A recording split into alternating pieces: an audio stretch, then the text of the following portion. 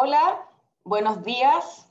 Bienvenidos a un nuevo panel de este mes del diseño, la novena versión, impulsado por el Ministerio de las Culturas, las Artes y el Patrimonio de Chile y en coorganización con UNIT.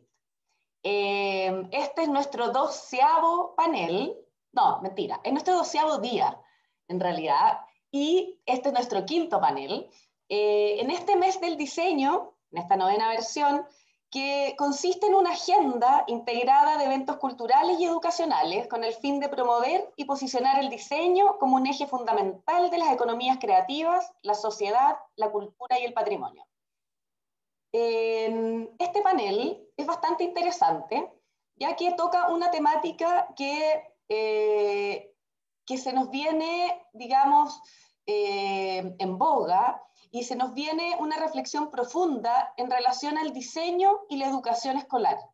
¿Cómo nosotros vamos a lograr insertarnos como disciplina en, estas capas educativas tan tempranas, para, entendiendo que ya es parte del programa educacional del Mineduc?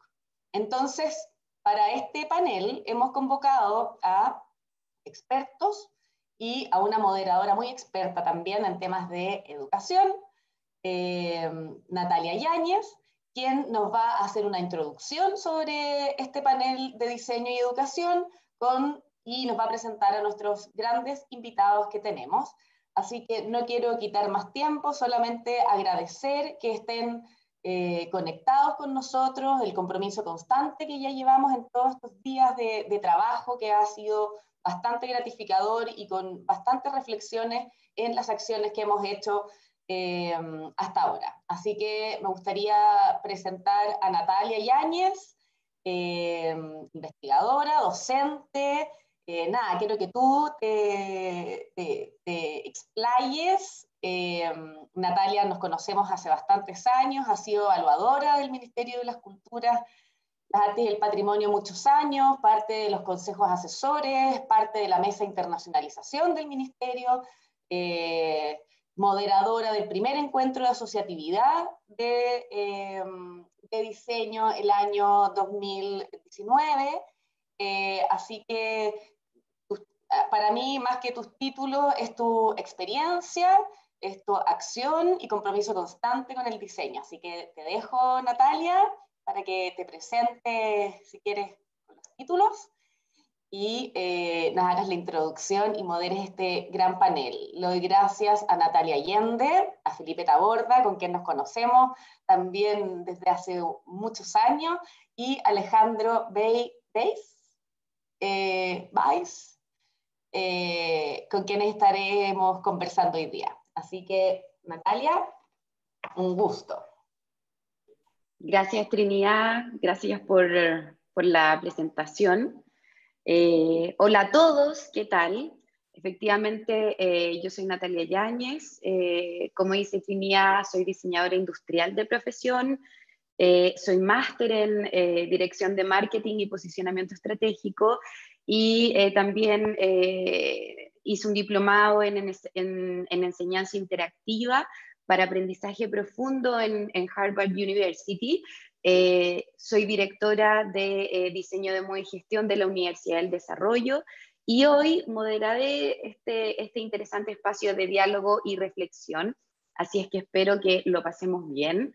Em, bueno, darles la bienvenida a todos, eh, saludar a quienes nos acompañan, además de nuestro panel de expertos desde Cali, Colombia, Temuco, Santiago, La Serena, Concepción, San Juan, Temuco, Arica, Machalí, desde Londres, desde Punta Arenas, desde Porto, Lima, Coquimbo, Villa Alemana, Isla de Maipo, Lima, Viña del Mar, Antofagasta, Villarrica, Caracas, Ancud, Quilpué, Montevideo, Valdivia.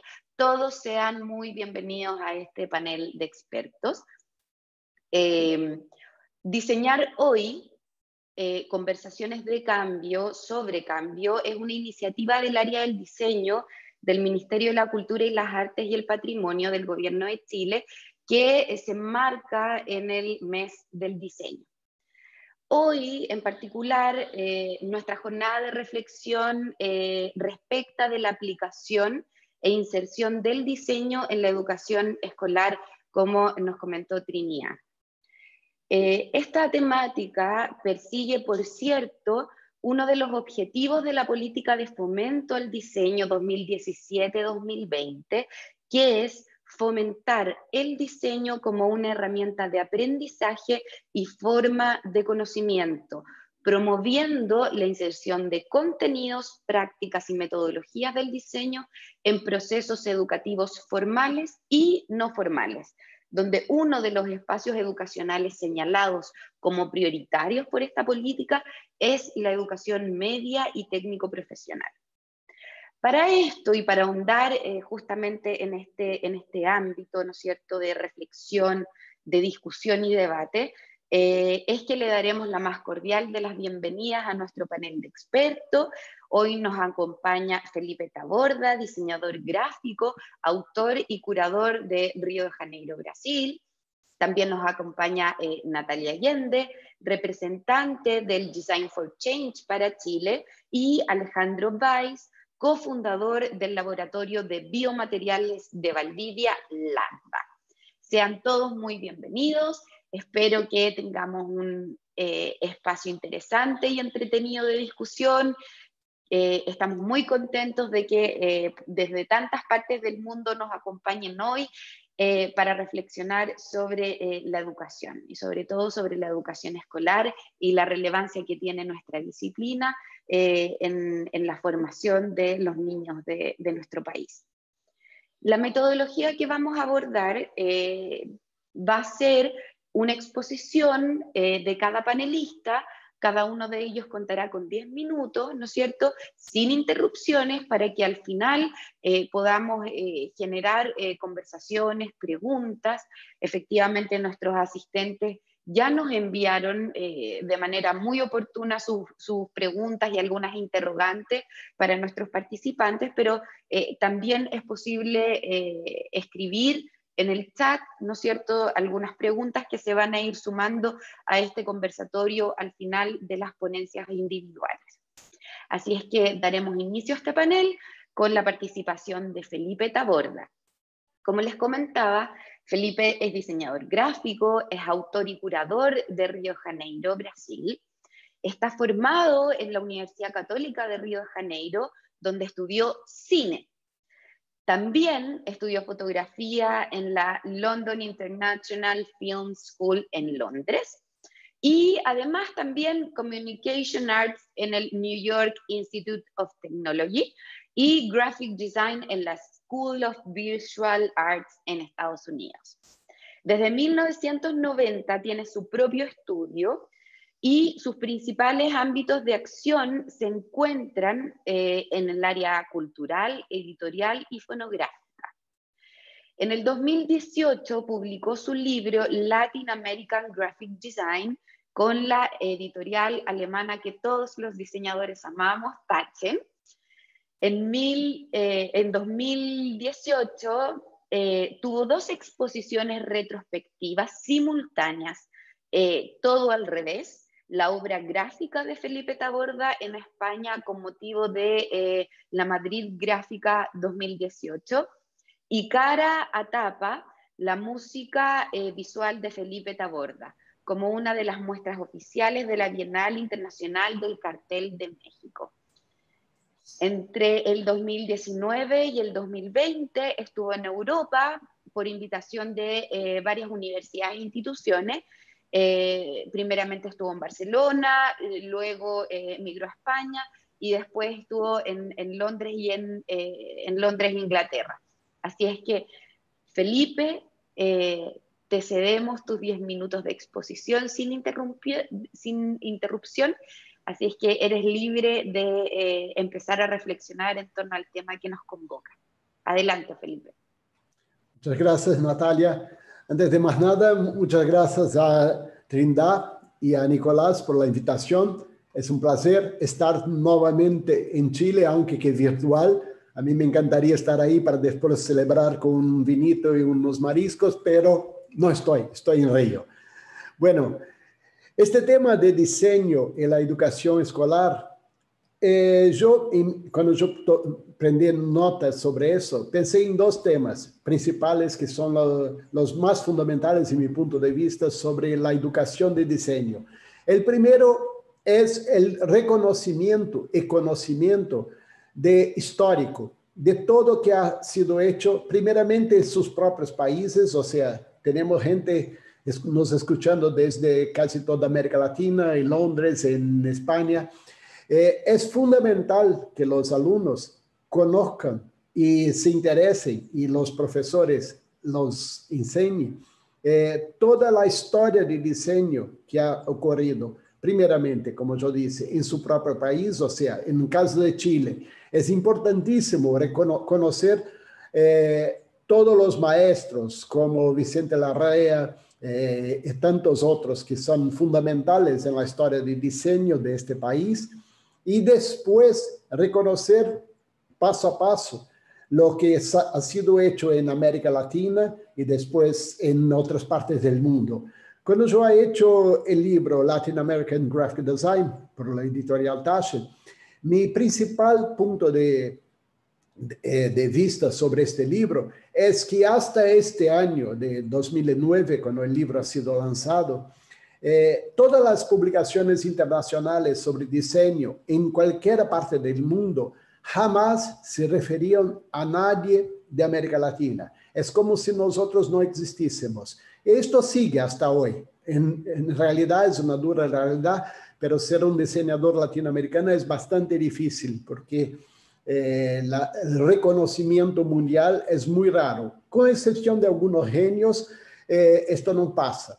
Bueno, entonces, eh, para que esto, este, esta situación se cambie, es necesario y es importante que en las escuelas de diseño, las escuelas que empiezan con los alumnos, empiecen otra vez a hablar de diseño histórico de toda a história do desenho. O diseñador Aloysio Magalhães, que ha sido es conocido como el padre del diseño en Brasil, ya murió en 1982, eh, él tenía una frase que a mí me parece espectacular.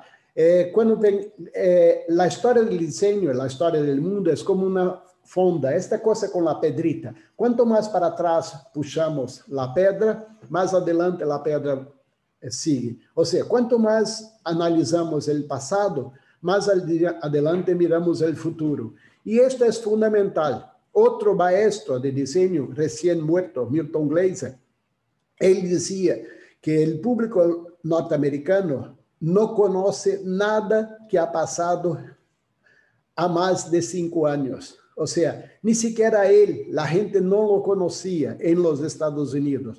La, cultura norteamericana, y yo digo la cultura mundial prácticamente, solo reconoce cinco años. Una gran generación de jóvenes, esto yo, yo he leído este, esto y me quedé impresionado, eh, jóvenes que actualmente tienen como 20 años o 22, cuando murió Michael Jackson, no importa lo que la vida personal de Michael Jackson no importa, pero cuando Michael Jackson murió, esta generación de 20 años no lo conocía, reconocieron y después todos los CDs y los discos de Michael Jackson se vendieron todo otra vez para esta nueva generación que no conocía a Michael Jackson. Y esto es una prueba vital de desconocimiento general. Es increíble negar a la presencia de Michael Jackson en la música mundial.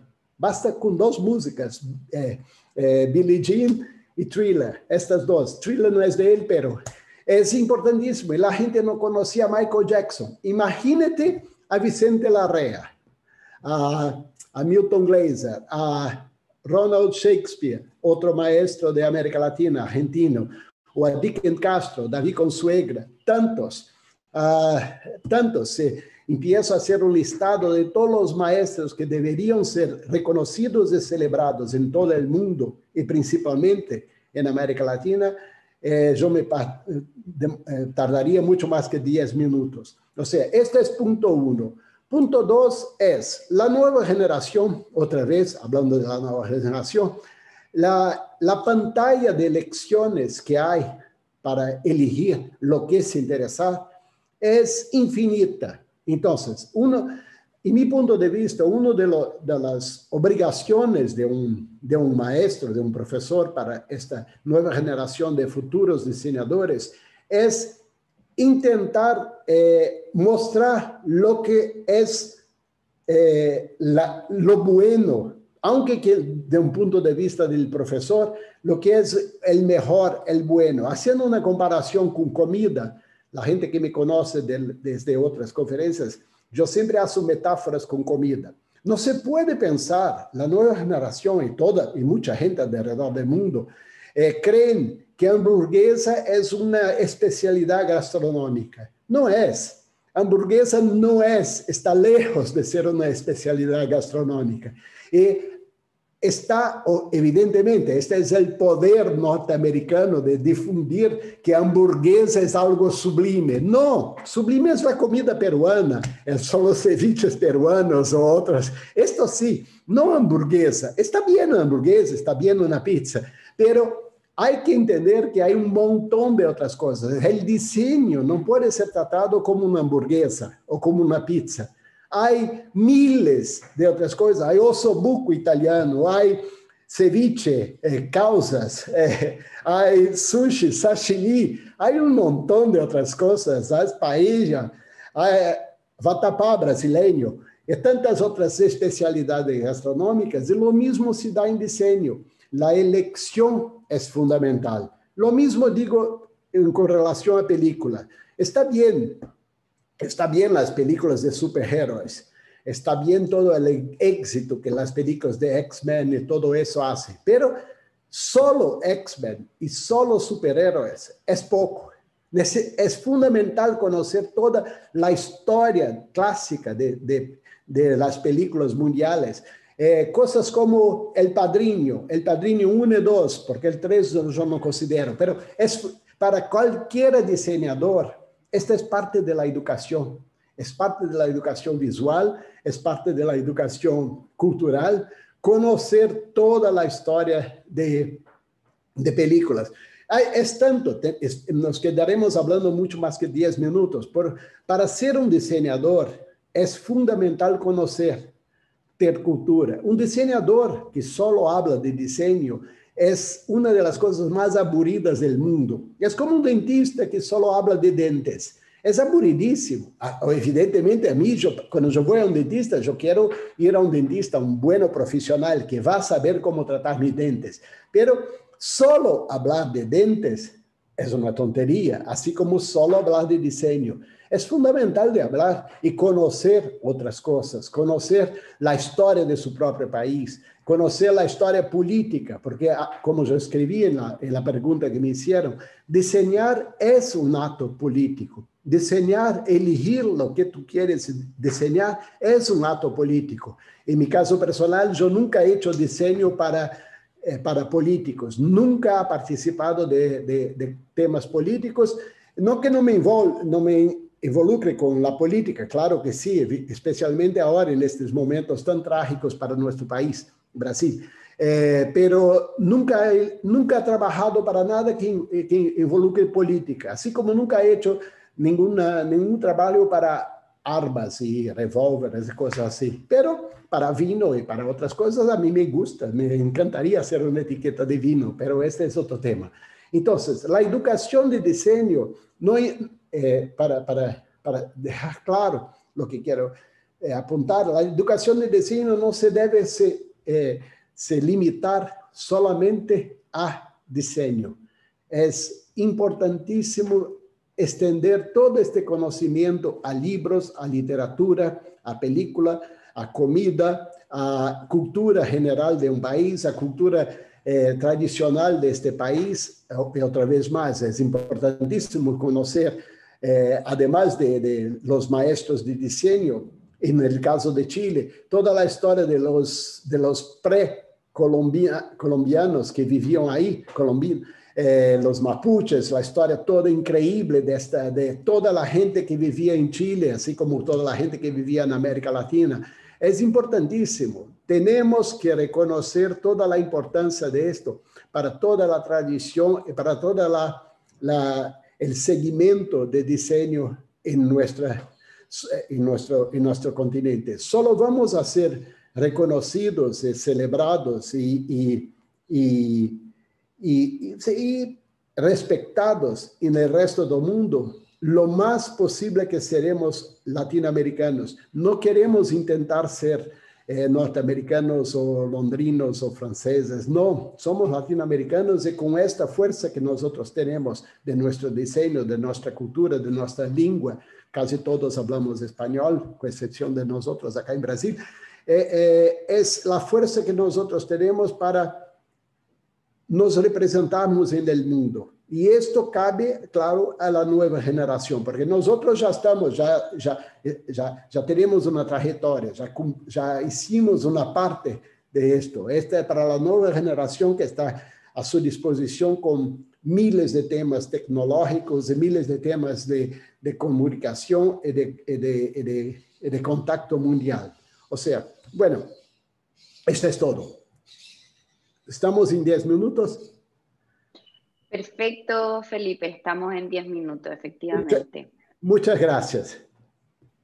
Es bastante interesante lo que propone eh, Felipe respecto de eh, la relevancia que, tiene, que tiene la, la, disciplina, la obligación que tiene la disciplina de incorporar, ¿no es cierto?, la historia latinoamericana dentro de sus sistemas formativos. Eh, ahora vamos a darle el paso a Natalia Allende. Natalia es representante, como ya les comenté, del, Design for Change para Chile. Se formó como educadora y licenciada en estética en Chile. Es magíster en literatura en, Estados Unidos. Posteriormente trabajó como coordinadora cultural en la Embajada de Chile en Washington eh, y el 2011 regresó a Chile al ámbito educativo nuevamente, pero desde otro rol para trabajar por las comunidades más carentes de oportunidades en nuestro país. Obtuvo la representación de Design for Change para Chile a fines del 2012 y lanzó la primera versión del desafío Diseña el Cambio 2013. Desde ese entonces, Natalia y su equipo han trabajado esta innovadora metodología con educadores y estudiantes desde la edad preescolar hasta cuarto medio. Voy a dejar con ustedes a Natalia para que nos explique en detalle, ¿no es cierto?, de qué se trata Design for Change, cuál es la metodología que abordan y cuál ha sido su experiencia en eh, la incorporación de este proyecto en, las aulas de nuestros colegios. Natalia, tienes tus 10 minutos para contarnos respecto de, de todo este trabajo que tú haces. Muchas gracias, Natalia, eh, y agradezco también al Ministerio de la Cultura, Arte y Patrimonio por invitarnos, por gestionar este, este mes de diseño eh, y, tener estos encuentros de reflexión. Y también agradezco al equipo eh, de contenido.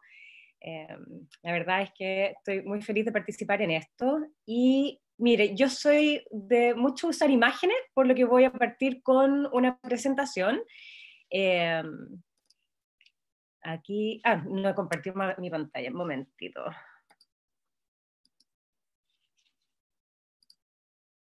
Ahí sí. Entonces, me imagino que ahí ya ven mi pantalla, ¿no? Em, sí, Natalia, perfecto. Muchas gracias. Mira, la, perspectiva que tenemos nosotros en Design for Change creo que está basada en, en, repensar cuál es el rol de las distintas personas en la sociedad, partiendo obviamente por los niños. Eh, los niños ya no los vemos tanto como receptáculos de contenido, sino que como seres agentes de la sociedad que tienen, eh, tienen injerencia, que tienen las capacidades, tienen el potencial y muy hábil y muy ágiles para desarrollarlo. Como ven ahí, los niños solo necesitan una oportunidad para participar y ser parte eh, activo del cambio positivo en el mundo.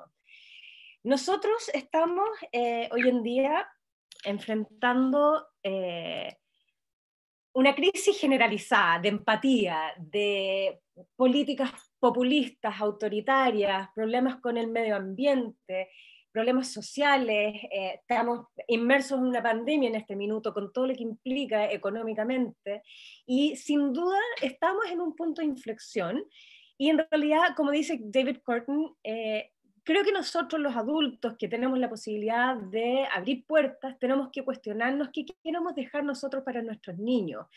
¿Cómo queremos que ellos nos miren cuando miren para atrás? A nuestros niños, nuestros nietos, nuestros, qué sé yo. Van a mirar para atrás y van a decir, esta generación destruyó todo y no nos dejó nada. O van a decir, ellos fueron capaces de tomar esta oportunidad, que es la crisis que estamos viviendo, y darle un giro y abrir puertas y elevar a eh, nuestra capacidad de convivencia, de vivir en el mundo, de vivir con los demás, etc. Ahora, la gran pregunta en relación con eso es, ¿qué hacemos nosotros? ¿Cómo nosotros podemos preparar a través de la educación a nuestros niños para que no tengamos que estar parchando y reparando en el futuro? Una rápida mirada a lo que es la educación hoy en día, eh, la, educación más tradicional, y aquí la estoy poniendo un poquito como a, lo, bruto. Eh, nosotros en la educación como está ahora o como la hemos ido viviendo, nosotros estamos esperando constantemente que los niños desde una edad muy temprana, 5, 6 años, sean capaces de sentarse en una sala, quietos, en silencio, escuchando al adulto y en circunstancias de que muchas veces ni siquiera nosotros mismos, los adultos, somos capaces de hacer eso por largos ratos. Por otro lado, esperamos que en una sala donde hay 20, 30, 45 niños, todos sean capaces de responder de la misma manera, sabiendo nosotros que somos todos muy distintos, a las expectativas que nosotros les ponemos. Esperamos que nuestros adolescentes, eh, a quienes nosotros hemos puesto a competir por las notas, por quién es el mejor, el mejor deportista, eh, sean sorprendentemente respetuosos unos con otros. Esperamos que después de imponer, de eh, dar órdenes y esperar que se nos obedezca, de repente surjan líderes positivos en nuestros niños. Esperamos que ante la educación y ante la sociedad también, nuestros niños adquieran un compromiso personal en circunstancias de que nosotros ni siquiera le hemos dado mucho propósito. Eh, está la clásica pregunta que todos nos hicimos alguna vez en, el colegio, ¿para qué estoy aprendiendo esto? Y que no lo, no lo, incluí con imágenes, también está el, el, camino reactivo a eso, que es un camino mucho más laissez-faire, en donde eh, el foco está puesto en los afectos, que los niños se sientan bien, que se sientan queridos, etc. Ahora, nosotros vemos que hay una forma alternativa, y aquí eh, me hizo mucho sentido lo que habló Felipe recién. Eh, nosotros podemos diseñar una experiencia educativa en la que nosotros preparemos a nuestros jóvenes para conseguir ciertas cosas, que nosotros lo vemos mucho como un matrimonio estas dos visiones educativas la más rígida, tradicional y una más laissez-faire. Por ejemplo, desarrollar en los niños la disciplina y la creatividad, que son dos cosas que van de la mano. El contenido y el carácter, lo que decía Felipe ahí, el contenido, o sea, es la historia, es la cultura general, pero también de la mano con el carácter, con el desarrollo de la capacidad de pararse ante el mundo y ser responsable eh, de, lo que, de lo que nosotros hacemos y cómo participamos en el mundo. Y aquí hay otra que es muy interesante, en realidad nosotros muchas veces tenemos como separado que si yo hago el bien, no me va a ir bien. O si yo me empeño en que me vaya bien, eh, paso a llevar a los demás. Y son dos cosas que pueden perfectamente y, deben ir juntas. Y por último, eh, fomentar en nuestros niños un sentido de ambición, de, de soñar en grande, siempre de la mano de la compasión. Ahora, para esto nosotros tenemos un método, que es un método que está inspirado en el Design Thinking, que quizás muchos de los que están aquí participando en el mes de diseño conocen la metodología del Design Thinking.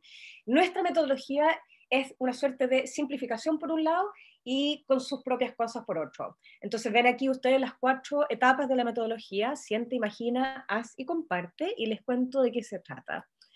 La etapa paciente es esencialmente una invitación que hace un mentor, en general, en el caso nuestro, los profesores, en la mayoría de los casos, a los niños, preguntándoles qué cosas de tu entorno, de tu entorno, no es del, mundo, no es de las grandes eh, regiones, sino que en tu propia realidad que te molesta y que estás dispuesto a trabajar para mejorar. cuando los, los niños pasen en esa etapa por todo un trabajo investigativo para comprender por qué las cosas están como están. Una vez que logran esa comprensión, pasan a la etapa imagina, que es en el fondo la parte más creativa. ¿Cómo puedo con los demás mejorar esta situación? Entonces pasan por todo el proceso de co-construir, de ser abiertos sin prejuicios, de producir un gran volumen de ideas y luego hacer un análisis para elegir la o las mejores ideas eh, propuestas. Y pasan ahí a la etapa AS, que en nuestro proceso es bastante fundamental porque no se quedan los niños en las ideas, sino que tienen que llevar a cabo. Entonces se hacen un plan de acción y es un trabajo meticuloso de considerar recursos, eh, quiénes participan, a quiénes invitamos, eh, cuáles son los tiempos que necesitamos, las responsabilidades, etcétera, y implementan su cambio en su propia realidad. Y por último, la etapa comparte, que es un poco es la, eh, bajo el lema de yo pude, tú también puedes. Los niños cuentan su historia de cambio en un video de máximo tres minutos. Y a mí me encanta esta etapa porque además de inspirar a miles de otras personas en todo el mundo, eh, esta etapa lo que hace es, es, para poder contar su historia de cambio, ellos tienen que volver a ese día cero, cuando se les invitó a ser parte de este movimiento ese día cero, lo más probable es que los niños partieron con muchas dudas. ¿Qué, ¿Qué, es lo que soy capaz de hacer yo? ¿Quién me va a escuchar a mí? Yo nunca he hecho nada por, por, la, por la comunidad, yo nunca he liderado. Entonces están llenos de dudas y mirar reflexivamente todo el recorrido que han logrado y lo que conquistaron, el impacto que lograron en su comunidad, es los llena de orgullo y es lo que permite también que ellos vean lo que son capaces de hacer y que se les instale esta mentalidad yo puedo. Eh, la mentalidad yo puedo tiene características, no es un solo un lema, es, la persona que tiene la mentalidad, mentalidad yo puedo es una persona empática y consciente del mundo que los rodea, es una persona que es capaz de colaborar y según sus fortalezas también liderar, y es una persona que, arraigado en la experiencia, es capaz de, o cree que y sabe que tiene injerencia en su propio futuro. En Chile, bueno, hemos trabajado, como, como decía Natalia en la introducción, con niños en todas las regiones y de todas las edades, en edad escolar. Eh, aquí voy a pasar rapidito. Y aquí ese, es, este gráfico muestra los distintos temas que nuestros niños eh, se preocupan. ¿Se fijan? Tú le preguntas a un niño qué cosas les interesan, qué cosas les preguntan y van desde el medio ambiente hasta la salud, la educación, la convivencia, la familia, etc. Eh, y bueno, ellos sienten que aumentan también mucho eh, en su experiencia personal la empatía, la capacidad de colaborar, de liderar, de comunicar. Y antes de cerrar lo mío, me encantaría compartir con ustedes una historia de cambios de un grupo de niños en un colegio en Santiago, eh, un video de, estos que ellos hacen contando su historia. Hola, soy Felipe, de San Gaspar College, y les presento nuestro proyecto llamado Hagamos un trato por el buen trato. Junto a mis compañeros y compañeras, trabajamos en grupos pequeños para anotar todas las situaciones que nos molestaban de nuestro entorno. Nos reunimos como curso para clasificarlas y votamos sobre el tema a trabajar. Elegimos el trato entre los estudiantes. Nos preguntamos cómo saber si para la comunidad el trato era un problema. Decidimos investigar. Realizamos entrevistas a estudiantes de primero a cuarto medio y también a los especialistas. Obtuvimos las siguientes informaciones. Un 40% de los alumnos afirman haber sido víctimas de burlas, insultos o mofas. Un 15% de alumnos afirma haber recibido puntapiés, empujones, etc. Un 37% piensa que si no devuelves un golpe eres un cobarde. Un 16% ha participado en exclusiones de compañeros o agresiones psicológicas. Un 30% de los estudiantes tienen dificultad para pensar en soluciones no violentas a los conflictos. Soñamos en grande y generamos un gran número de ideas. Fuimos acompañadas por la convivencia escolar, psicólogas y orientadoras de nuestro colegio, porque el trato es tarea de todos y todas. Yo con este proyecto me he dado cuenta de cualidades que tienen mis compañeros que anteriormente no me había dado el tiempo de conocerlos. Yo aprendí que tengo que respetar a las personas. Y yo aprendí a trabajar en equipo. Yo aprendí que todos podemos hacer un buen trato si no nos proponemos. Sobre el buen trato yo aprendí que podríamos ser mejores y cambiar. Esto podría ser un gran signo para el maltrato porque el buen trato es mucho mejor. Por el buen trato aprendí que el respeto es fundamental. Las actividades que hemos realizado son un mural sobre acciones que podemos realizar para mejorar el trato, como saludar, pedir por favor y aceptar las diferencias. Realizamos una charla para los padres y apoderados de nuestro colegio, llamada Buen Trato en Familia, no más afecto dominó.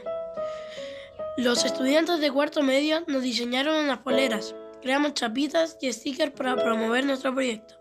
En Párvulo presentamos un cuentacuentos y realizamos preguntas a los niños y niñas para evidenciar el impacto de nuestra presentación. Todos y todas se comprometieron por el buen trato. Junto a los primeros y segundos básicos, realizamos una intervención durante el recreo, un canto por el buen trato.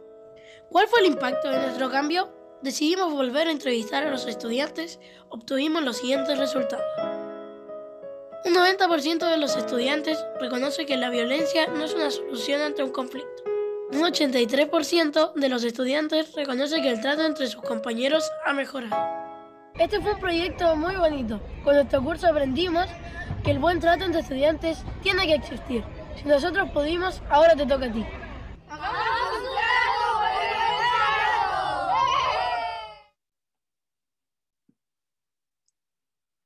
Ya, eso, era, espero haberlos dejado motivados e inspirados con lo que son capaces de hacer nuestros niños.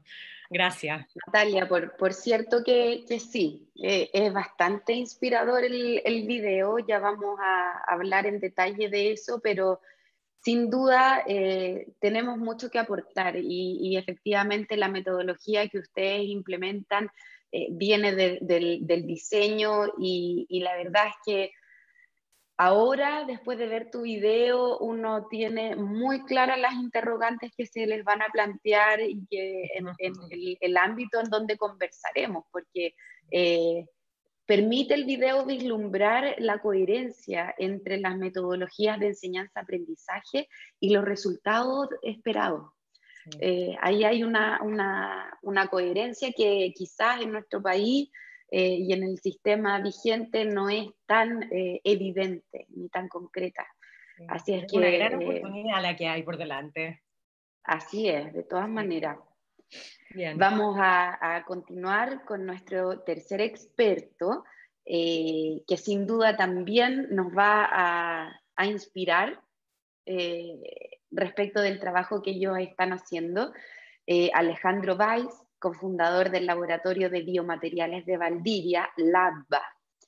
Es arquitecto, Alejandro, es máster en proyecto urbano y además también es diplomado en innovación y creatividad.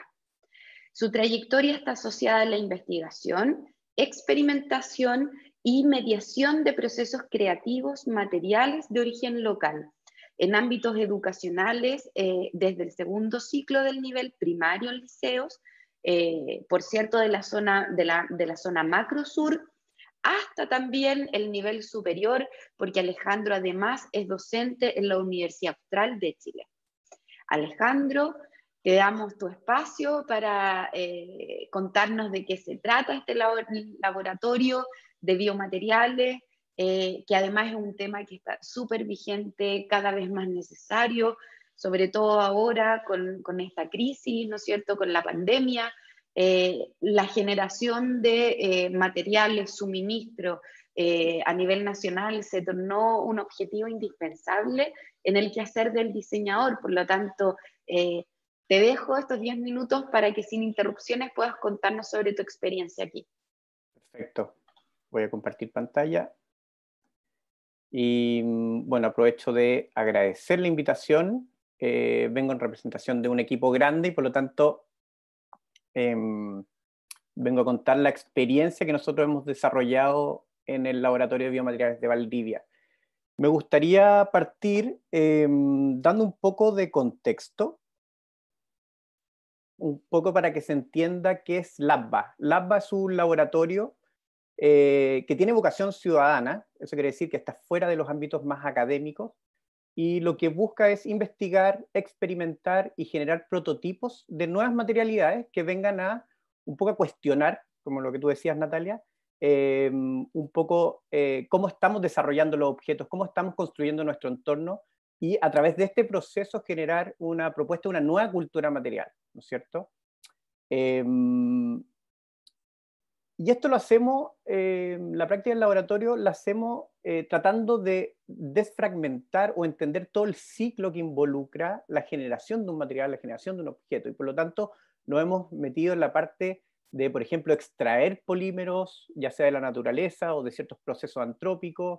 Eh, después los llevamos a una fase de cocina, ¿no es cierto? Como tratando siempre de hacer una bajada local y no tan tecnológica, de bajo, de bajo costo, y utilizando software de código abierto. Em, entonces cocinamos estos polímeros que podemos extraer eh, de una manera artesanal de la naturaleza, eh, resignificando materiales, resignificando desechos cotidianos, etc. Y también eh, hacemos un proceso de cultivar microorganismos o trabajar en co-creación con, por ejemplo, con hongos, con bacterias que están presentes en nuestro entorno para la generación de estos nuevos materiales. Y por lo tanto, em, esta mirada que, estamos teniendo como laboratorio eh, también se ve reflejada en, la, composición de nuestro equipo, que es un equipo transdisciplinar eh, que integra diseño, eh, arquitectura, diseño y también áreas más científicas. acá está el equipo, el núcleo central. Em, y lo que finalmente lo que hemos logrado generar es el desarrollo de un laboratorio que está guiado a través de preguntas. ¿No es cierto? Nosotros no tenemos claro, una claridad absoluta y no existe un contexto eh, desarrollado, un marco teórico desarrollado en el cual nosotros podamos eh, caminar libremente, sino que más bien estamos constantemente generando eh, preguntas que nos permitan llegar o entender múltiples posibilidades, múltiples opciones. Por lo tanto, esto se entiende porque es una práctica emergente. No hay muchas referencias, sobre todo en Latinoamérica, quizás hay algunas referencias, referencias asociadas a la academia eh, en países del primer mundo, eh, pero nuestra práctica es una práctica emergente. Y esto, en vez de entenderlo como una desventaja, nosotros lo entendemos como eh, con muchas posibilidades. Y eso es porque nos permite un proceso que es mucho más intuitivo, que es mucho más abierto y por lo tanto está guiado en un proceso de curiosidad, ¿no es cierto?, que nos permite ir descubriendo cosas. Em, el segundo aspecto de esta práctica emergente que nos interesa mucho es la especulación de estas posibilidades, ¿no es cierto? No hay un un único escenario, sino que son muchos escenarios distintos. Y finalmente esta discusión transdisciplinar que más que poner la disciplina por delante, o más en el caso escolar, más que poner la asignatura por delante, es permitir o tratar de generar una discusión que es holística, que es integral a las distintas temáticas o problemáticas que surgen. Y por lo tanto, em, un poco el rol que ha tenido LABA es eh, de esta práctica, ¿no es cierto?, dentro de nuestro laboratorio, la pregunta que nos hacemos es cómo podemos llevar estas metodologías, esta aproximación, estos conceptos incluso, em, para ser implementados en contextos escolares. Eh, recordad que nosotros somos un laboratorio de vocación ciudadana y por lo tanto lo que nosotros estamos tratando es que todo este contenido, toda esta información, esta experiencia material, poder eh, mediarla y traspasarla Em, al ciudadano común y corriente, a niños y niñas y jóvenes. Y por lo tanto, de esta experiencia nosotros hemos sacado eh, cinco aspectos que nos parecen claros, como claves, perdón. El primero tiene que ver con volver a mirar, volver a observar de una manera intensa, sin prejuicio y guiados por la curiosidad, eh, que nos permita ir generando descubrimientos en el día a día, ¿no es cierto? Em, otro aspecto tiene que ver con em, trabajar en base a dudas, ¿no es cierto? Nuestro proceso en la experimentación no tiene certezas, ¿no es cierto? Y vamos como ajustando y vamos entendiendo este aprendizaje en el mismo proceso y vamos cuestionando paso a paso. Esto nos permite no tener eh, el foco en un resultado único final o absoluto, sino que pensar en múltiples posibilidades. Y creemos que eso es algo que también podemos traspasar a nivel eh, educativo escolar. El tercer aspecto tiene que ver con la experiencia material y y volver a conectar un poco, eh, eh, generar vínculos emocionales eh, con lo que nos rodea, con la construcción de nuestro entorno, con la generación de objetos. pasa hoy, por ejemplo, que todos los materiales o todos los objetos vienen como de alguna manera cerrados o, no existe una vinculación directa con ellos. y nosotros creemos que, por ejemplo, eso se ve eh, reflejado en el impacto o en la contaminación medioambiental que vivimos, ¿no es cierto? El plástico es un material que es homogéneo, eh, que no tiene ninguna identidad necesariamente asociada a él, y por lo tanto no es muy fácil desprendernos de este material. Por lo tanto, queremos volver a entender cómo se hacen las cosas, de dónde provienen los materiales, quiénes los realizan, cómo impactan el medio ambiente. Entonces, esta fragmentación va a generar em, una experiencia material que nos va a permitir vincularnos con ellos. Eh, un cuarto aspecto que creemos clave eh, tiene que ver con eh, la experimentación de los procesos. Y en ese sentido, entender estos procesos también como en distintas escalas, no solamente en una escala humana, por así decirlo, de nuestras relaciones, sino que también en la relación interespecie, ¿no es cierto? Cómo podemos trabajar con organismos vivos que están día a día en nuestro entorno y que muchas veces no los vemos, pero están ahí y, forman parte de nuestra cotidianeidad. Y finalmente, el último aspecto que clave de nuestra práctica que creemos relevante como eh, integrar en los procesos eh, educativos es esta idea de la co-creación del conocimiento Em, donde hay un aprendizaje en ambos sentidos. Em, nosotros creemos firmemente de que ya no se trata de un trasvasije de información y nosotros mismos, como la experiencia del LAB, es un constante aprendizaje que al llevarlo en el ámbito educativo y sobre todo entendiendo que niñas y niños eh, están mucho más desprejuiciados de estos procesos, eh, nosotros también adquirimos, en el fondo podemos entender esto como un aprendizaje que nos sirva en el proceso de experimentación material del laboratorio y que también eh, eh, permita a niños y niñas buscar respuestas de manera más horizontal y creativa. Entonces, con todos estos cinco aspectos como en la mente, ¿no es cierto? Eh, la pregunta es cómo lo implementamos.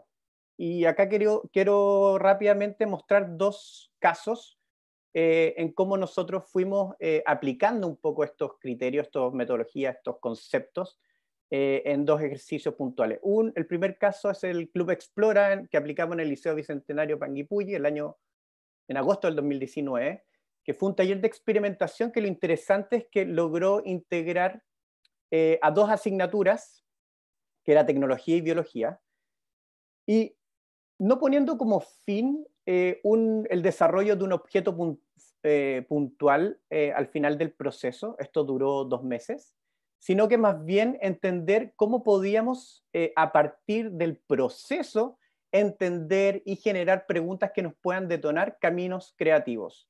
Entonces, eh, esto trabajaron específicamente en la generación de celulosa bacteriana y por lo tanto ellos sin un conocimiento previo o sin un marco teórico muy robusto, iniciaron un proceso eh, intuitivo de curiosidad para entender cómo podía funcionar este material, cómo se podía trabajar eh, con organismos, eh, qué pasaba si, por ejemplo, aplicaban eh, ciertos pigmentos, si le hacían ciertas reacciones, y ellos iban construyendo su propio camino creativo que les permitía llegar a distintos escenarios.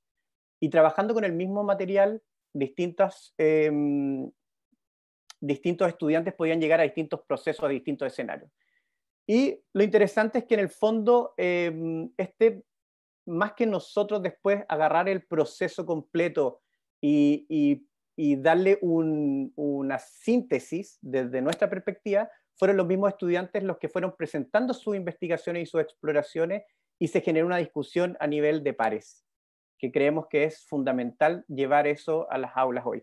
El segundo caso que voy a explicar rápidamente tiene que ver con el trabajo que hicimos en enero del 2020 eh, en los Se Crea en los Ríos, y que fue una invitación em, a que niños y niñas pudiesen involucrarse en los procesos em, de estas relaciones interespecies entre hongos y bacterias. Este es un taller que organizamos en conjunto con BioFab UC y el Laboratorio, de Tecnologías Abiertas también de la Católica, junto a Constanza Giuliani, que es una artista visual.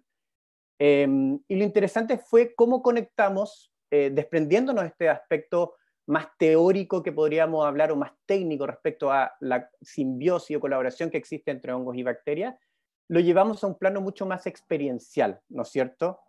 Em, y de alguna manera tratar de generar y de conectar a través de las emociones eh, y que ellos mismos van construyendo sus, propios, sus propias eh, perspectivas o ideas respecto a esos temas.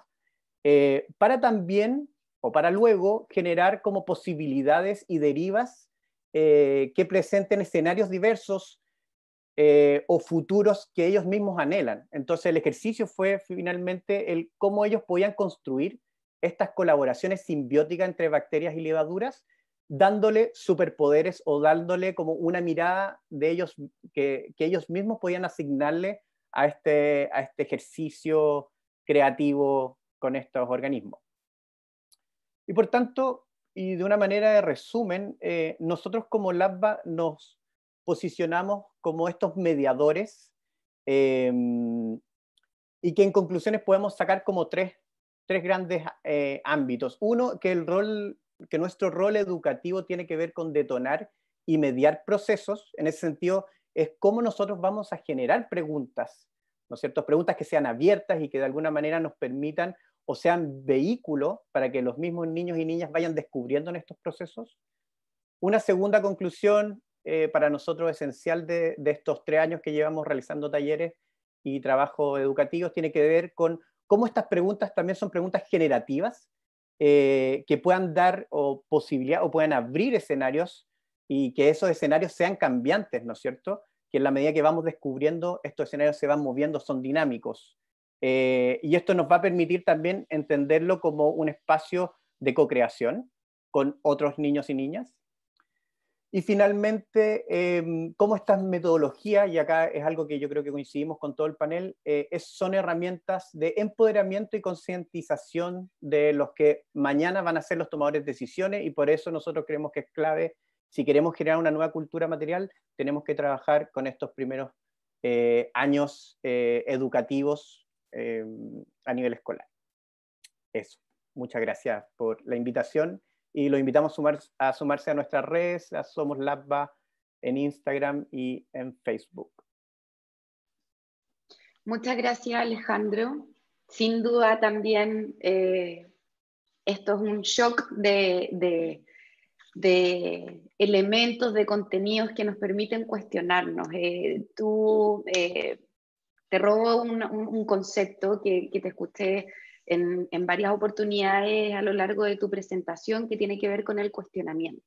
Mm. Creo que eh, efectivamente después de escuchar a, ustedes tres expertos, eh, es posible empezar a cuestionarse qué es lo que estamos haciendo bien y qué es lo que estamos haciendo no tan bien en la educación de nuestros niños, justamente para los resultados que esperamos. Eh, en algún momento Natalia comentó sobre la inconsistencia entre las metodologías de enseñanza-aprendizaje actuales, ¿no es cierto?, que están presentes hoy en los colegios de Chile, versus lo que nosotros esperamos que los alumnos y los estudiantes logren realizar. Y efectivamente esa trazabilidad desde que el alumno llega en la preescolar, por ejemplo, hasta que sale de cuarto medio, en la enseñanza media, esa trazabilidad debiéramos cuestionarla permanentemente, no solo porque, como muy bien dice Alejandro, las metodologías de enseñanza-aprendizaje propias del proceso creativo, ¿no es cierto?, propias de la disciplina del diseño, como el design thinking, como el aprendizaje basado en la experiencia, como el aprendizaje basado en la experimentación, permitirían, ¿no es cierto?, que esta trazabilidad que tiene el alumno desde no saber nada hasta lograr los objetivos de aprendizaje o los resultados esperados en el currículum a nivel nacional se logre, debieran ser cuestionadas permanentemente y debieran ser cuestionadas la coherencia que hay entre lo que se persigue y cómo se logra ese objetivo de aprendizaje, ¿verdad? Eh, a mí sin duda eh, sus ponencias me, me, abrieron la cabeza justamente para entender la relevancia de la disciplina del diseño en procesos educativos escolares. Y me doy cuenta que casi ya no tengo cuestionamientos, creo que es absolutamente necesario. Y aquí voy a dirigir algunas, algunas preguntas que tengo eh, para cada uno de ustedes. Eh, Alejandro. Eh, los últimos serán los primeros, dicen, ¿no es cierto? Eh, alguien que hoy nos acompaña de algún lugar del mundo nos hizo una pregunta bastante interesante y que creo que es tremendamente pertinente respecto de lo que tú planteaste en tu presentación en relación a la tecnología. Eh, ella pregunta, o él pregunta, ¿cuál es el rol de la tecnología en los proyectos de educación? y entendiendo también la tecnología desde, desde el low-tech, desde la realidad local que, que el, el, biolaboratorio aborda, digamos. La o sea, yo creo que de todas maneras la tecnología pasa a ser una herramienta, ¿no es cierto? No, no debiese ser un fin. Y en ese sentido lo que nosotros tratamos es que a través de estos procesos de baja tecnología, ¿no es cierto? Eh, poder reinterpretar, eh, volver a valorizar, volver a conectar, por ejemplo, dinámicas territoriales, em, que ellos sean conscientes, por ejemplo, en aspectos de cómo, cómo sus prácticas impactan en su entorno. Eh, nosotros lo abordamos siempre de una perspectiva muy medioambiental, material, ¿no es cierto? Eh, entonces me voy a tratar de referir más a esa porque tengo más expertise en eso, ¿no es cierto? Pero tiene que ver con eso, como con cómo eh, podemos valorizar, por ejemplo, prácticas ancestrales, eh, cómo podemos revalorizar desechos que ellos mismos generan domiciliarios, cómo pueden encontrar en, el trabajo de sus o en la experiencia productiva de sus comunidades. Eh, entonces, el biolaboratorio, por así decirlo, es un espacio de reflexión que, va más allá de la experimentación misma, va, más, va más allá de Em, la cantidad de tecnología que se le aplique, sino que es un espacio eh, común de reflexión. Nosotros por eso lo tratamos de llevar siempre como a este ámbito más de cocina, eh, porque todos tenemos una cocina en nuestras casas, es un lugar común. Ellos, cuando ellos sienten que eh, es un espacio de experimentación que lo han hecho durante toda su vida, que los, los utensilios que utilizan son los mismos que tienen en sus casas, entonces ya no le estamos hablando de un laboratorio que es técnico, que es prístino, que en el fondo solamente se puede entrar en él si que hay ciertas medidas y protocolos y es un espacio poco creativo finalmente. Eh, yo creo que ahí es donde nosotros empezamos a generar como espacios de creatividad que son eh, transformadores. Entonces la tecnología pasa a ser algo fundamental, pero es una herramienta eh, para que los cuestionamientos y los procesos creativos se den de una mejor manera. De hecho, eh, aquí conecto con, con, con, alguna observación que, nos entregó Natalia en su momento em, y con la metodología que también eh, Design for Change aborda. Eh, el video que vimos al final de tu ponencia, este video que crea este grupo de niños, ¿no es cierto? Con, con, su, identificando claramente un problema, eh, proponiendo, ¿no es cierto?, una solución, cuestionándose también constantemente por qué sucede y proponiendo un resultado, una solución, pero que además ese resultado era medible. Ellos entregan datos, ¿no es cierto? Dicen que los profesores los acompañaron en el proceso, la orientadora los acompañó, pero ellos culminan todo este proceso materializado en un video. Eh, es relevante que en los procesos de aprendizaje los alumnos tengan acceso a herramientas tecnológicas, por ejemplo, como el celular, para hacer eh, aprendizaje profundo, para poder internalizar sus, conocimientos nuevos y relacionarlos, como bien dice Alejandro, con el entorno. Eh, Natalia, el video, el resultado del video al final de este proceso, eh, ¿Es indispensable o no es indispensable? ¿Puede ser reemplazado por otro formato? Eh, ¿Cómo lo abordan el, desafío de la, elaboración, de la creación de este formato eh, los niños durante su experiencia? Es una buena pregunta, interesante. yo, al igual que Alejandro, creo que la tecnología es un medio. Eh, y, es eso, es, es, una herramienta para otras cosas. Eh, creo que es inevitable en el mundo en que vivimos eh, y en Chile específicamente, todo el mundo tiene celular, todo el mundo usa el celular. la facilidad con que nuestros niños salen de la sala de clase al recreo y se meten al celular, sentados uno al lado del otro, los amigos, pero cada uno en su mundo chiquitito de su celular. La verdad es que la tecnología digital es como una especie de avalancha que se nos vino encima y está, y es inevitable reconocerlo y, y usarlo para lo mejor que se pueda.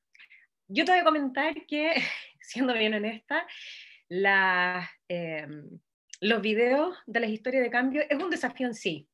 Nosotros hablamos del desafío escolar, que pasa por estas cuatro etapas, pero la etapa comparte es un desafío para los niños, para, incluso para los mentores que los acompañan y que les van ayudando a construir su narrativa y, y hacer la historia en formato digital. Eh, pero creo que es, una, es un aprendizaje útil que les va a servir para muchas otras cosas. Eh, y, no solo el aspecto digital, sino que el aspecto de el ser capaz de contar tu, tu historia de manera sucinta, que tienen máximo tres minutos. Y de, y de hecho, nosotros podemos permitir que si nos llega una historia de cambio con 3 minutos 15 segundos la aceptamos, pero ya si es más, ya no, le decimos tenéis que acortarla. Eh, pero ser capaz de ser eh, preciso y conciso, de inspirar, de traer la evidencia del proceso, de traer las emociones, o sea, al final la herramienta digital, la tecnología sirve para contar tu historia personal, para un fin más humano. Y, de hecho nosotros somos el movimiento que somos estamos en más de, más de 70 países en el mundo, en Chile específicamente, desde, Arica hasta Punta Arena, con niños desde los 3 años hasta cuarto medio. Y eso es porque esta, este medio que, que usamos, el video, es tan potente. Eh, o sea, no hay niño que no vea una historia como la que les mostré a ustedes ahora y diga, yo también quiero.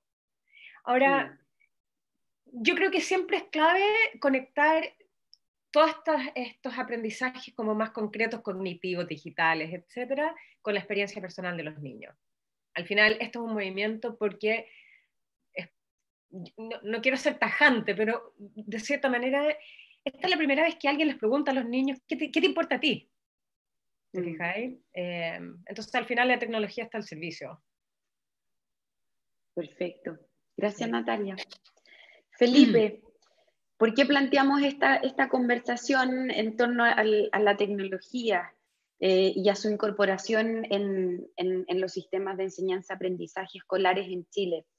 Eh, en los últimos tiempos hay, han habido eh, muchas iniciativas vinculadas justamente a esto.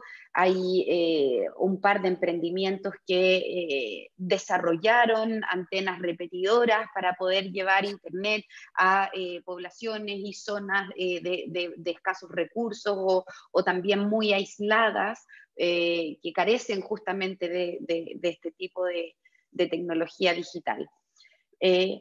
aún así, cuando hay un esfuerzo importante de parte del gobierno por repartir eh, laptops y computadores, sobre todo ahora en función de la pandemia, a los niños de, escasos recursos para que puedan seguir conectados a, sus clases, ¿no es cierto?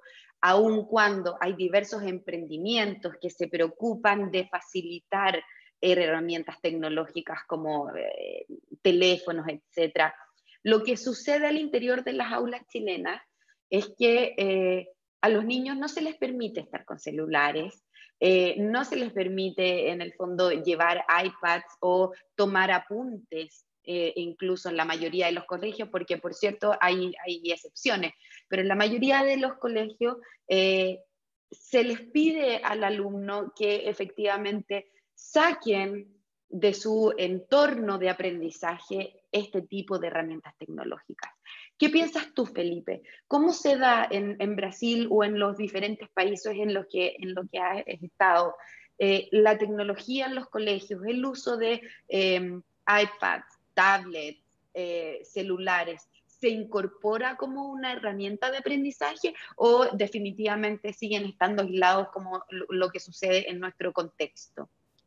Bueno, como ya Alejandro y Natalia ya, ya confirmaron, es un equipamiento. Así, eh, también a, a, todos que ya conocen mis conferencias y todo, yo hago una comparación entre los, los computadores, los celulares y todo esto que tenemos ahora con el compás.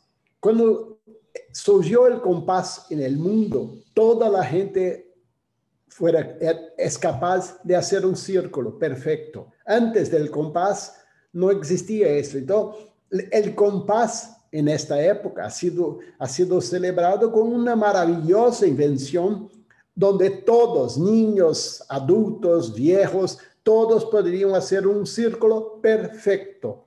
Antes era solo la mano del maestro de la corte que venía y hacía un círculo a mano libre. Es lo mismo, es imposible pensar una nueva generación de 30 o 35 años para abajo que no tenga celular, que no tenga, que no tenga todos los equipamientos o, que no quiere tener. Mucha gente en mi país no tiene. Tenemos un problema ahora con las, las clases online que muchos de los brasileños no tienen acceso a la Internet, pero este es otro tema. Pero es fundamental tener los, los equipos, es fundamental, pero los equipos, lo que Natalia y Alejandro dijeron, los equipos no sustituyen el pensamiento, la cabeza, las ideas, todo viene de acá, no de los, no de los celulares o de las, todo viene de acá. Y para tener algo acá, otra vez más, como yo hablé antes, es fundamental el conocimiento, la cultura, porque la ignorancia no, no lleva a nadie a nada. La ignorancia política, la ignorancia cultural, la ignorancia gastronómica es, es un, un camino corto. Entonces, para, para alimentar acá es necesario con todo el conocimiento y evidentemente que la tecnología ayuda. Y cuando pensamos en tecnología para diseño, es fundamental, nos recordamos de otra cosa, la tecnología en la medicina, lo impresionante que es la, la tecnología en la medicina hoy. Hacemos operaciones que ni siquiera necesitamos abrir el cuerpo, es por una... O sea, todo esto es, es, es la evolución, la tecnología bien eh, utilizada es fantástica, es espectacular.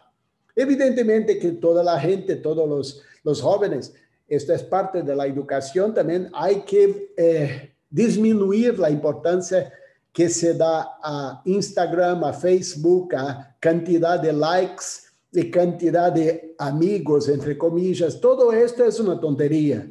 Y además también Instagram y Facebook es la tontería de, de enseñar a toda la gente que sus bebés, la comida que está comiendo, los bailes que están bailando, esto todo es una tontería. A nadie les importa é saber se tu amas tu mamá ou não, ou tu perro, ou tu, ou tu ninho que é recém-nascido. Se tu não eres desta, desta família, não importa os filhos de los outros. então, este é outro tema também da tecnologia que, a, que não sei como vão passar, porque toda a gente utiliza o Instagram e, para coisas personais e não para trabalho. Eh, eu tenho um Instagram, mas só de trabalho. Entonces, tecnología fundamental, pero bien utilizada, como todo. Los aviones, cuando Santos Dumont inventó el avión, el verdadero inventor el, yo no, no es porque yo soy brasileño, es Santos Dumont. Está sido documentado en todos los periódicos de París y todo. Él se suicidó cuando ha venido la Primera Guerra Mundial, cuando los aviones eh, despejaban bombas eh, porque ele se suicidou porque não pudo suportar a ideia que sua invenção estava sendo hecha para, para matar pessoas. Ou seja, toda a tecnologia pode ser bem ou mal utilizada. Es así, así, es, Felipe. Bueno, y los diseñadores también tenemos ahí un desafío importante, que, oh. que es lo que nos parece correctamente ético, ¿no es cierto?, de abordar o no.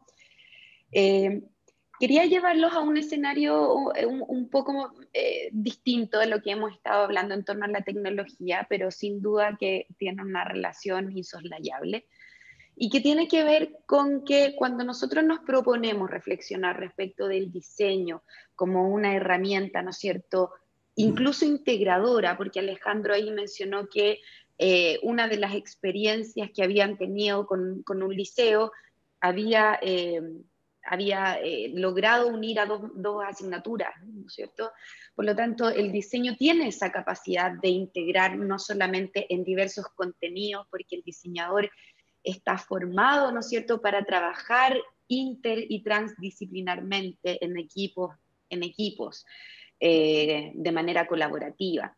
Por lo tanto, quería, quería llevarlos a este escenario que tiene que ver justamente con esto, con entender la relevancia de establecer o implementar metodologías en los colegios que provienen de la disciplina del diseño, pero también será necesario capacitar a quienes facilitan el aprendizaje a los profesores, porque pareciera ser, y esta es mi, humilde percepción, eh, y está generada a partir de lo que veo en los medios, etc., eh, pareciera ser que la incorporación de tecnologías en el aula, en las universidades, eh, ahora en, pandemia, fue una necesidad, fue algo que, nosotros lo vivimos, yo lo vivo en, mi casa de estudio, digamos que eh, hubo que desembolsar e invertir tecnología justamente para abordar nuevos paradigmas en cómo se hace la educación, ¿no es cierto?, en Chile, cómo se forman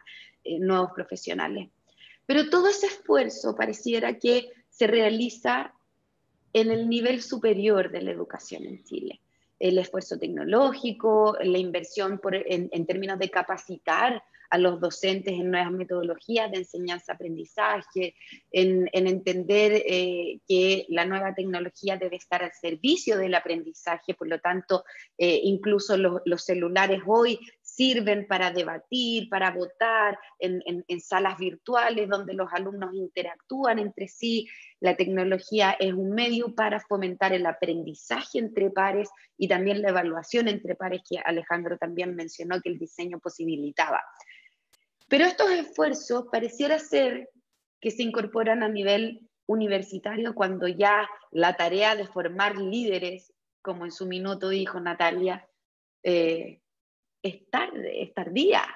Eh, ¿Qué pasa con formar a los profesores en, los niveles de preescolar? ¿Qué sucede? ¿Será necesario que quizá las personas, los curriculistas, sean diseñadores? Así tal cual lo planteo. Los diseñadores deberíamos meternos, inmiscuirnos en, en el diseño del currículo de, de, la educación eh, escolar. Y aquí les doy la palabra eh, a quien quiera entregarme su perspectiva, digamos, libremente. yo quiero, es, una, es una pregunta eh, dura, pero, pero sí, creo que, que, tenemos que cuestionarla. Fíjate que eh, en el caso nuestro, la fundadora de Design for Change, Kiran Sethi, es diseñadora. Eh, la historia del origen de Design for Change es súper interesante porque, como digo, ella es diseñadora de formación, familiarizada y, practicante del design thinking en, en, otras cosas, nada que ver con educación. Ella diseñaba experiencias en restaurantes, ponte tú, cosas así.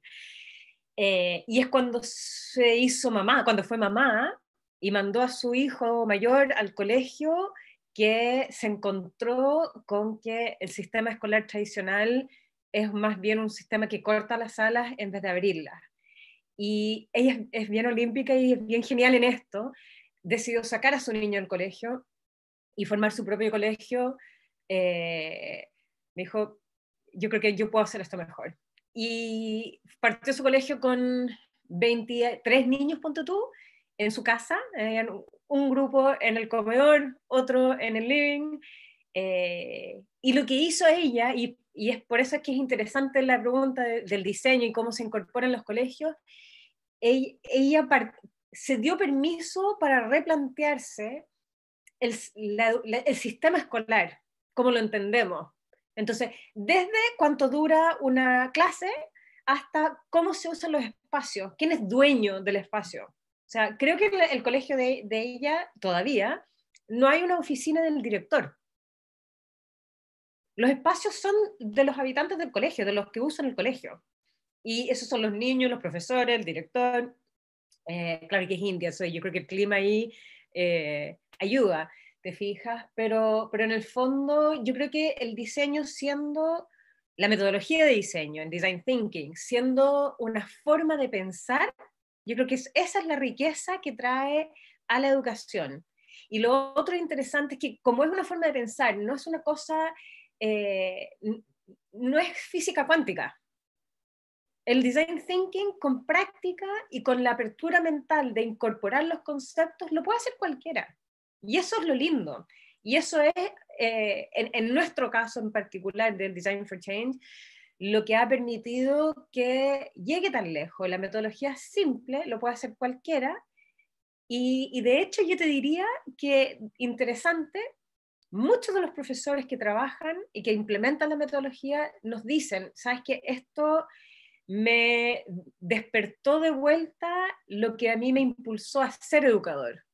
Entonces, ahí tú tienes el contraste con lo que la gente en el fondo humanamente busca en la educación, que está conectado el ser humano con el diseño, con el soñar, con el crear, con el ser un aporte, con construir, versus el sistema tradicional que está como, es una maquinaria pesada, burocrática, demasiado estandarizada, etc. Eh, eso.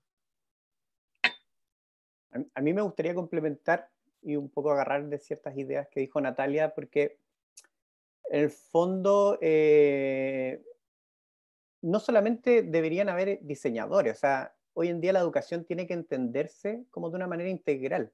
Y esa eh, capacidad de borrar los límites, eh, de que los problemas no pueden mirarse desde una perspectiva como única, sino que es multiperspectiva, multifocal, es clave. Y, porque en el fondo nosotros tenemos que eh, como generar personas con pensamiento crítico, eh, más que eh, receptores o contenedores de contenido, ¿cierto? entonces, ¿cómo se hace eso? Y hay una pregunta en el chat que vi por ahí que tenía que ver con esta idea de los profesores y profesoras. En el fondo, tienen que participar de estos procesos y de todas maneras. O sea, yo creo que nos, como que el problema de la educación que tenemos hoy no tiene que ver con los niños y niñas, ¿no es cierto? Ellos se están formando en base a lo que nosotros estamos definiendo, que son las metodologías y estrategias para poder generar eh, a estos líderes del mañana.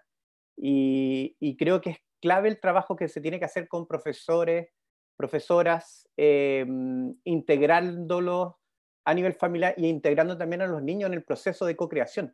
Tenemos que tratar de llevar la educación a, esos ámbitos, eh, tratando de posicionarnos, como dije en la presentación, una metodología de escenarios múltiples, donde lo importante es el proceso más que eh, el, resultado final, porque pueden haber muchos resultados.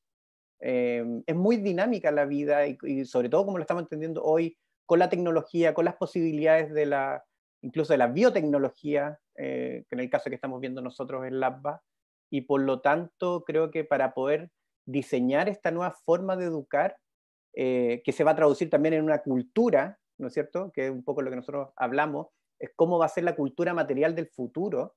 Eh, para eso tenemos que redefinir cómo estamos entendiendo la educación de nuestros niños y niñas desde una perspectiva eh, multivariable, multifocal, y por lo tanto yo me atrevería a decir, esto me voy a carrilear, pero creo que ya está obsoleto esa idea del profesor como, como una sola variable, o profesor de biología exclusivamente, como que no debiesen eh, analizar todo tan específico y tan separado porque pierde esa posibilidad de generar como cruces inesperados, que son los procesos creativos que el diseño mejor maneja, eh, pero que en el fondo no es exclusivo del diseño, como decía Natalia.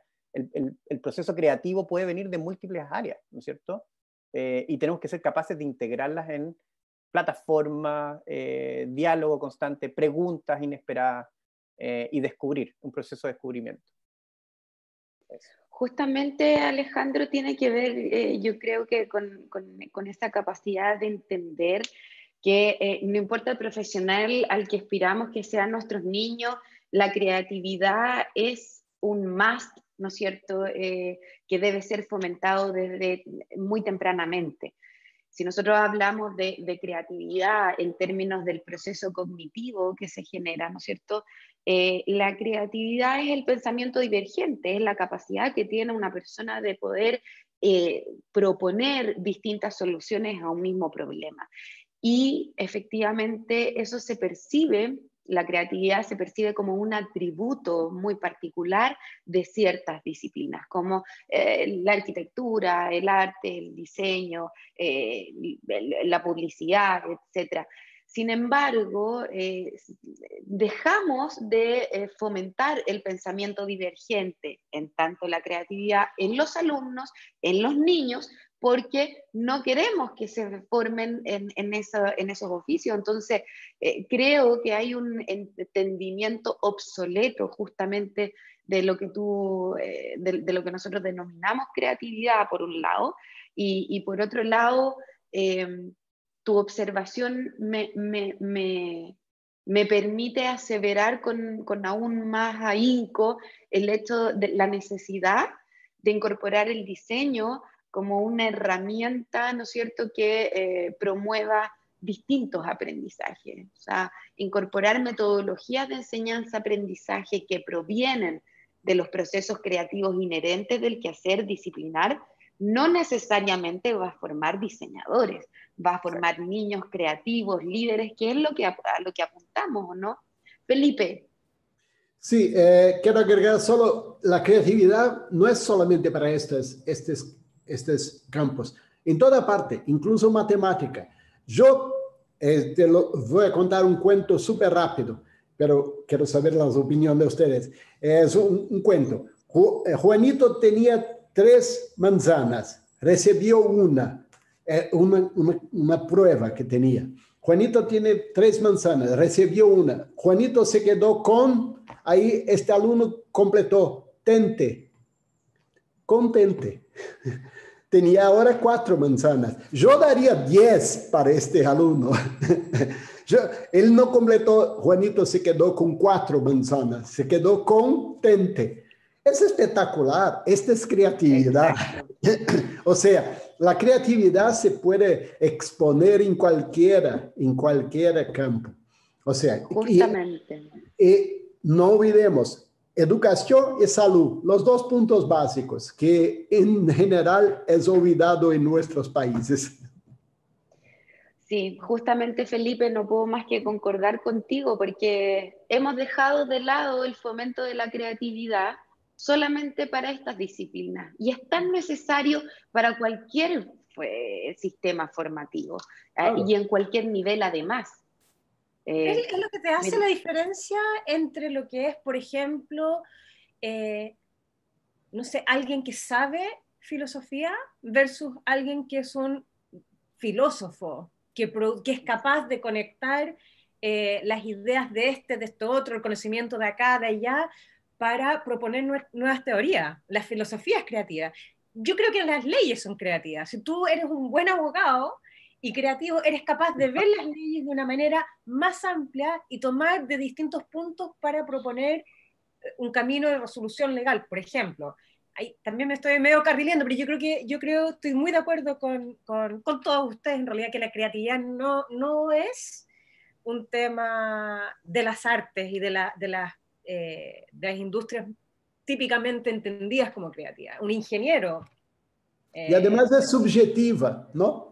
Exacto, exacto. Y, yo creo que la creatividad implica necesariamente el ser capaz de conectar distintos puntos, distintos conocimientos y eh, generar ideas nuevas pero con rigor. Yo creo que la creatividad está, mm, ahí, va conectada necesariamente con la disciplina, con el rigor del trabajo, etc. Eh, y ahí, para terminar, una idea es que eh, me gustaría así como destacar el trabajo que hace eh, para Explora en la región, para Explora los ríos, que es una institución que busca divulgación científica pero que lo que hace es un trabajo con los docentes a nivel de, eh, de todas las, las, asignaturas para tratar de que generen ese pensamiento divergente. Y que en el fondo, si un docente em, tiene esa capacidad, adquiere como estas herramientas, va a poder eh, impulsar ese trabajo en niños y niñas.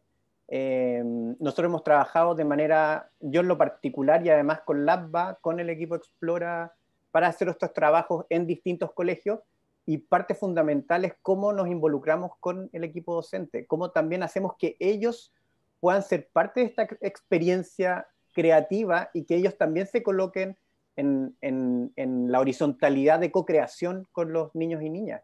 porque es la manera, o sea, eh, acá tenemos que, de nuevo, ver el tema desde una perspectiva como multifocal. No, son, los niños, como decía antes, niños y niñas no son, em, no son el problema, por así decirlo, ¿no es cierto? Sino que cómo estamos nosotros generando estos espacios de pregunta, estos espacios de co-creación, estos espacios de eh, pensamiento divergente o de preguntas generativas. Exacto. Cómo el profesor se transforma en un facilitador del aprendizaje y no en la figura central de una cátedra. En función del tiempo, eh, queridos panelistas, expertos, eh, les quiero agradecer, les quiero agradecer la preparación, la disposición que tuvimos para abordar este tema. pareciera ser que, que todos los asistentes eh, han, reflexionado en torno a lo que hemos estado conversando. Eh, le dejamos una, misión, ¿no es cierto?, aquí a los representantes del gobierno, eh, una misión importante de, incorporar, ¿no es cierto?, metodologías de enseñanza-aprendizaje tempranamente en el proceso formativo de los niños, ¿no es cierto?, considerar el diseño como una herramienta integradora, ¿no es cierto?, y de optimización de las diferentes materias y contenidos que aborda el currículo, ¿no es cierto?, escolar. Eh, la incorporación de metodologías de enseñanza-aprendizaje como aprendizaje basado en experimentación o aprendizaje basado en la experiencia generan efectivamente aprendizaje profundo, que es lo que queremos que nuestros niños eh, tengan, que no repitan como loritos lo que se memorizaron, sino que entiendan lo que están haciendo, comprendan el comportamiento de las cosas para generar una nueva cultura material, ¿verdad? Eh, así es que, Trinidad, te, damos, te agradecemos la instancia, el espacio y te encomendamos justamente... Eh, eh, llevar estas observaciones al otro ministerio. ¿ah? Muchas gracias a todos. Eh, y bueno, estamos en contacto ahí en el chat. Eh, Úrsula nos felicita, felicita también a Trini por la iniciativa, felicita a Andrés también por, lo que sucede en el, en el biolaboratorio LABA, que es bien vanguardista además. Así es que, bueno, muchas gracias a todos, que tengan un muy buen día y estaremos en contacto. Eh, ojalá por iniciativa también de, Trinidad en otro mes del diseño. Gracias a todos. Muchas gracias. Chao, Natalia. Un gusto. Chao, Felipe. Este escenario con ustedes. Igualmente, Natalia y Felipe. Chao. Ojalá nos vemos en, en, vivo. Eso. Un abrazo. Y ahí nos tomamos un buen vino chileno, Felipe. Por favor. Natalia, que esté muy bien. Gracias. Chao, Natalia. Muchas gracias. Chao, Alejandro. Chao, chao.